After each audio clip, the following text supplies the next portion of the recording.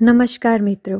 સ્વાગત છે તમારું અમારી YouTube channel Gujarat voice of નોલેજમાં આજે અમે ચીનની મહિલા ડૉક્ટરે કરેલા દાવા મુજબ કોરોનાને લગતા રહસ્યને વિશે ચર્ચા કરવા જઈ રહ્યા છીએ.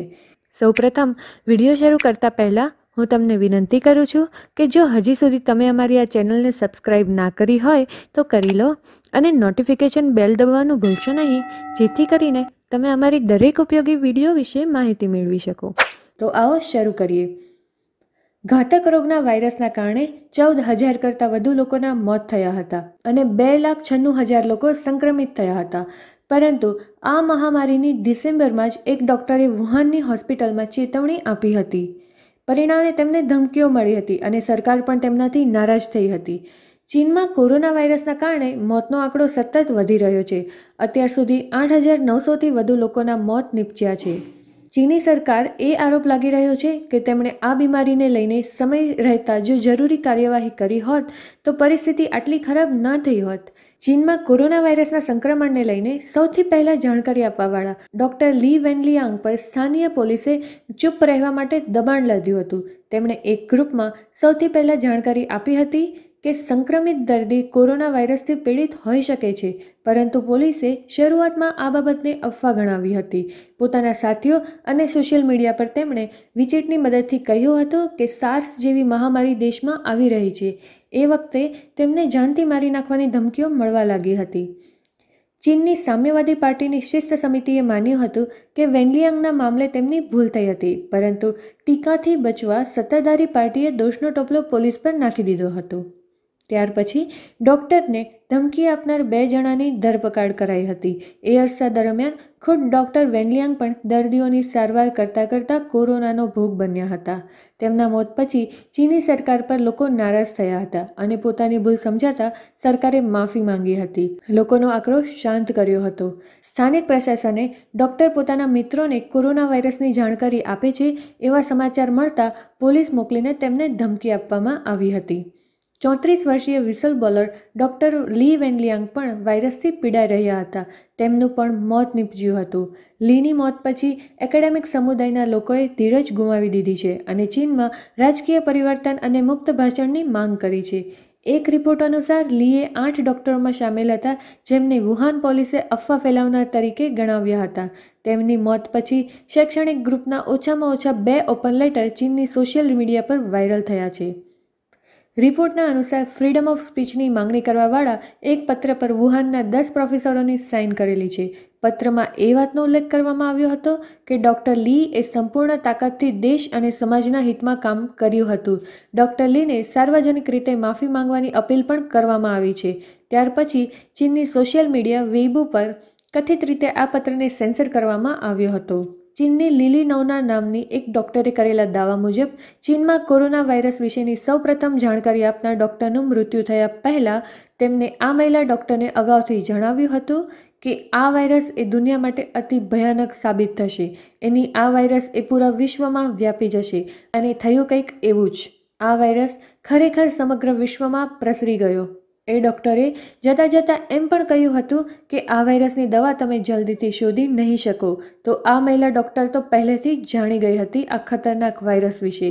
એ મહિલાએ વુહાન હોસ્પિટલના ઉચ્ચ ડૉક્ટરો સાથે મિટિંગ બોલાવીને આ વાત પણ કરી.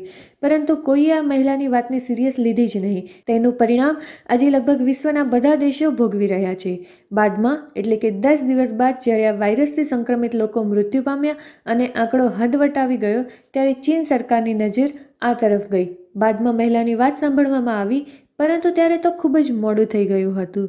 આ ઉપરાંત, જ્યારે સરકારને ખબર પડી, ત્યારે તેમને વાયરસ વિશે કોઈને જાણ ન કરવાનો હુકમ આપ્યો. એનું કારણ કે જો વિશ્વમાં ખબર પડે, તો ચીનની છબી ધૂંધળી થાય, કારણ કે આ રોગ એ ચીનની જ એક ભૂલનું પરિણામ છે ને આજે આખી દુનિયા તેની કિંમત ચૂકવી રહી છે.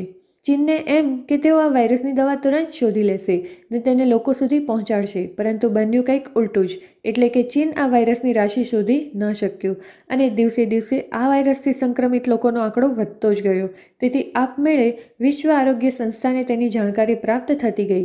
બાદમાં તેને વૈશ્વિક મહામારીનું સ્વરૂપ આપવામાં આવ્યું. હવે વિશ્વના તમામ લોકો ઈચ્છી રહ્યા છે કે વર્લ્ડ હેલ્થ ઓર્ગેનાઇઝેશન દ્વારા ચીન સામે કડક પગલાં લેવામાં આવે. તેઓએ વાયરસ બનાવ્યો છે ફક્ત બીજા દેશોનું અહિત કરવા માટે. ત્યારબાદ વર્લ્ડ હેલ્થ ઓર્ગેનાઇઝેશન દ્વારા આ વાયરસની ઉત્પત્તિ વિશેની સચ્ચાઈ પૂછવામાં આવી. તેના જવાબમાં ચીને કહ્યું કે આ વાયરસ એ જંગલી પ્રાણીઓને કાચાને કાચા ખાઈ જવાથી એક વ્યક્તિમાં પ્રવેશ્યો છે અને તે ચેપી હોવાથી બીજી વ્યક્તિમાં પ્રસરવા પામ્યો છે. પરંતુ જો ખરેખર આ વાયરસ કોઈ દરિયાઈ પ્રાણીને ખાવાથી ઉત્પન્ન થયો હોય, તો એની દવા ક્યારની શોધાઈ ગઈ હોત? પણ આ વાયરસને બનાવવામાં આવ્યો છે.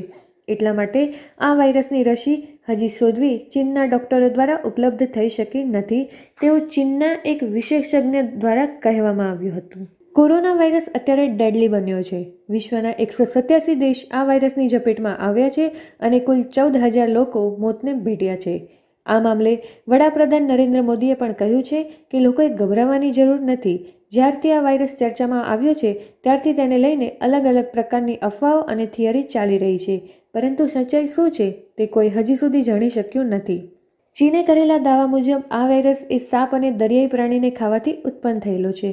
તો સવાલ એ ઊભો થાય છે કે શું એક જ દિવસમાં એક જ જગ્યા એટલે કે એક જ શહેરમાં દસ હજાર લોકોનું મોત કેવી રીતે થાય? તે દિવસે વુહાનમાં કરાયેલ સર્વે મુજબ માત્ર છસો લોકોએ દરિયાઈ પ્રાણીનો આહાર લીધો હતો. તો એક જ દિવસમાં દસ હજાર લોકોનું મોત કઈ રીતે થયું? આ સવાલનો જવાબ હજી ચીન આપી શક્યું નથી. આ સવાલનો જવાબ ના મળતા શંકા વધુ ગહેરી થતી જાય છે. સમગ્ર વિશ્વના લોકોને ચીન દેશ પ્રત્યે નફરત થઈ ગયેલ છે. કારણ કે તેઓએ એક વાયરસ પોતાના સ્વાર્થ માટે બનાવ્યો અને પછીથી તે વિશ્વના એકસો સત્યાસી દેશોના લોકોના મોતનું કારણ બની ગયો. ચીનની મહિલા ડૉક્ટરના જણાવ્યા મુજબ, ચીન એ આ પહેલાં પણ આવો એક વાયરસ બનાવ્યો હતો. ચીન દેશ આવા વાયરસનો ઉપયોગ હંમેશા માટે એક શાસ્ત્ર તરીકે કરે છે. તેમના દેશની વસ્તી એકસો પિસ્તાલીસ કરોડ કરતાં પણ વધુ છે. એટલે કે, વધતી જતી વસ્તીને તેઓ સમાવવા માટે હંમેશા બીજા દેશોને આવા વાયરસનો શિકાર બનાવીને તેમની વસ્તીને રહેવા માટેની જગ્યા બનાવવાનો પ્રયત્ન કરે છે. વળી ત્રણ મહિનાથી ચાલતા આ વાયરસને લીધે સમગ્ર વિશ્વમાં અબજો ડોલરનું નુકસાન થવા પામ્યું છે. શેર બજારે તેની સૌથી નીચી સપાટીએ આવી ગયેલ છે. તો મિત્રો, આ હતી સંપૂર્ણ માહિતી. જો આ વીડિયો તમને ગમ્યો હોય, તો શેર કરવાનું ભૂલશો નહીં. જેથી કરીને આ વીડિયો તમારા મિત્રો અને સંબંધીઓ પણ મેળવી શકે. આવી જ બીજી વિડીયોને માહિતી લઈને ફરી તમારી સમક્ષ હાજર થઈશું. જો તમારી કોઈ બીજી માહિતી જોઈતી હોય, તો નીચે કમેન્ટ બોક્સમાં કમેન્ટ કરો. અમે એ માહિતી લઈને તમારી સામે હાજર થઈશું. ધન્યવાદ.